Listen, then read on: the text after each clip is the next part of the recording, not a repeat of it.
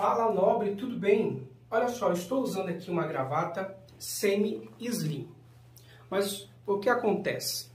Eu recebo muitas perguntas. Samuel, como fazer, como fazer um nó grosso e volumoso numa gravata slim fit ou numa gravata slim? Sim, tem um pequeno truque porque 90% dos nobres não consegue extrair de uma gravata slim ou de uma gravata semi-slim um nó como esse aqui. Eu vou fazer rápido para você como que eu faço. Na hora de fazer o nó, eu dou mais passadas.